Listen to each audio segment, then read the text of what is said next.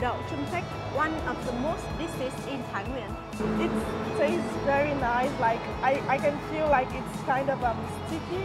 I can taste rice and it tastes so yummy. Now I will take you to visit Đậu traditional village to learn about the way of making chin cake like this. Oh, okay. Let's Yeah. go. Yeah. Yes.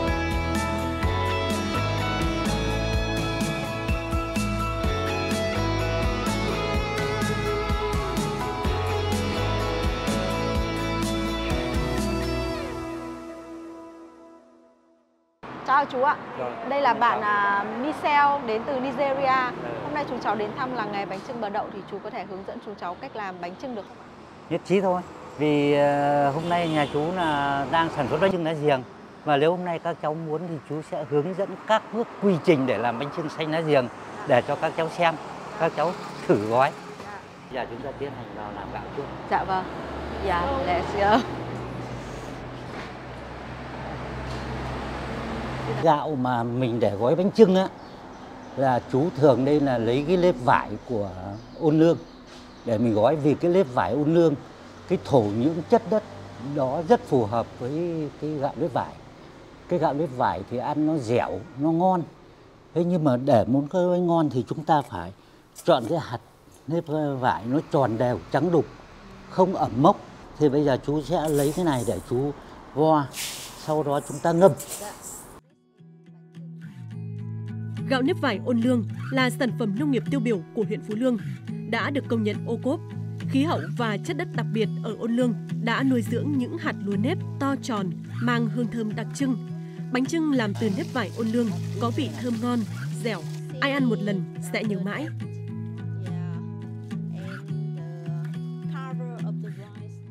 Ờ, giờ mình cứ để đây ngâm giờ mình đi lấy lá giềng Sẽ ngâm trong bao lâu hả chú? gạo này mình ngâm độ 15 20 phút. Vì cái gạo mà ngâm ba trộn với lá giềng này thì mình lại đừng ngâm kỹ quá. Ngâm kỹ quá thì hạt gạo nó hút nước. Khi mình trộn cái nước cốt lá giềng thì nó không hút được nước cốt lá giềng. Giềng, cây trồng quen thuộc với người Việt, không chỉ củ mà thân và lá cây cũng có thể làm nguyên liệu hoặc gia vị trong các món ăn. Bánh trưng lá giềng có hương vị độc đáo, màu xanh bắt mắt và còn rất tốt cho sức khỏe. chúng ta thái ờ, nó nhỏ ra này Đó.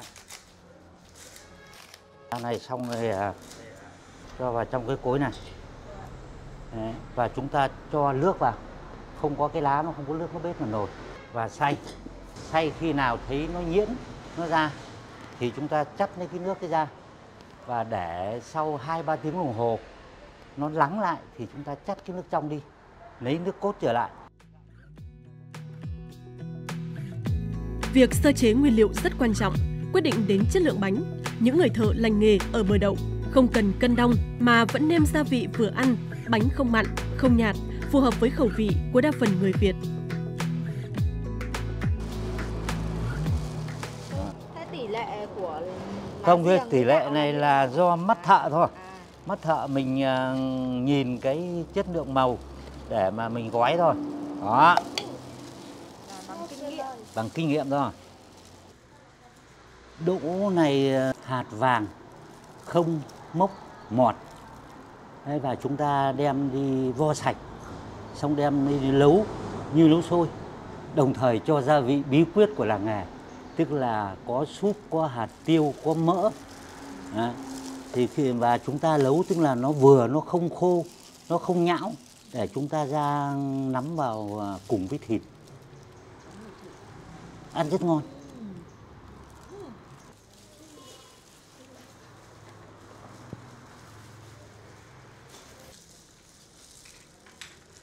Tạo nhân thì à, như thế này. Chọn được thịt ba chỉ của con lợn là ngon nhất. Nó có lạc, có mỡ để ăn cái bánh nó dẻo, nó thơm.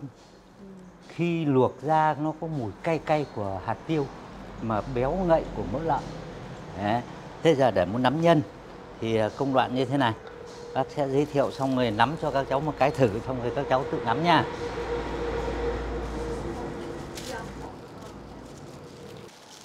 Ấn nó dẹt nó ra. Thêm tí nữa đây. Oh, it's so. Ồ, ồ, rồi, được rồi. Đây nha. Thế giờ mình mới chọn miếng thịt, đặt vào giữa này. Đó. Về đây này. Ấn miếng thịt cho nó, về lên đây này. À. Ồ.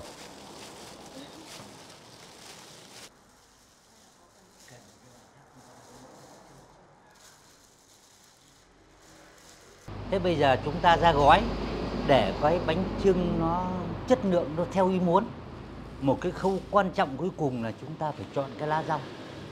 Cái lá rong của chúng ta chọn là cái lá mà bọc bên trong á là nó phải lá ờ, bánh tẻ. Khi mình gói thì cái màu diệp lục này nó ra gạo, cái bánh nó xanh, nó không bị trắng.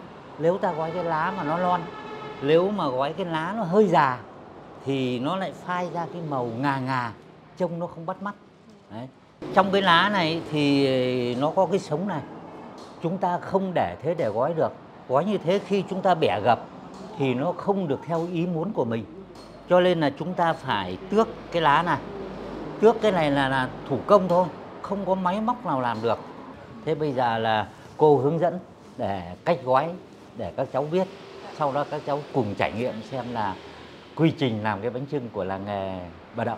Cô hướng dẫn cháu nhé Đây, cô sẽ đổ một lửa gạo xuống này, sát nó ra này. Thế xong bắt đầu à, đặt cái nhân này vào giữa này.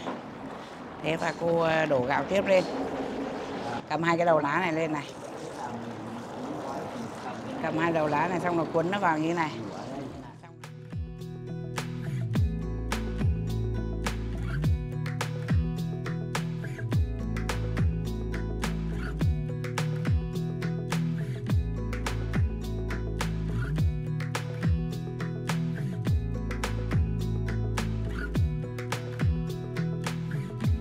Các công đoạn làm bánh trưng không quá phức tạp, nhưng để có chiếc bánh ngon thì cần rất nhiều kinh nghiệm và sự tỉ mỉ của người thợ.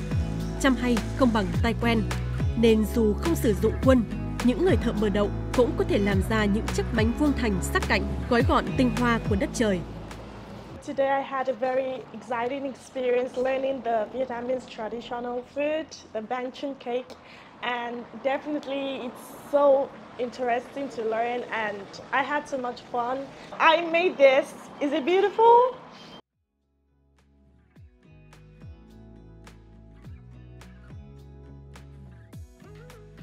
Bên bếp lửa bập bùng, chúng tôi được chú sĩ kể câu chuyện về sự hình thành làng nghề và sự tiếp nối của các thế hệ để gìn giữ, phát triển nghề truyền thống của ông cha.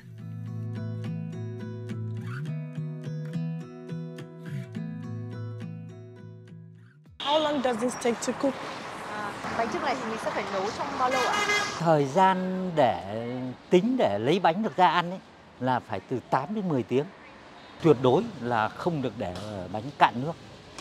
Bánh cạn nước là cái màu lá nó xấu, nó đen, nó vào hạt gạo. Do you have to do this every day? Chú có làm bánh này hàng ngày không ạ? Cái bánh này của chú là ngày nào cũng làm.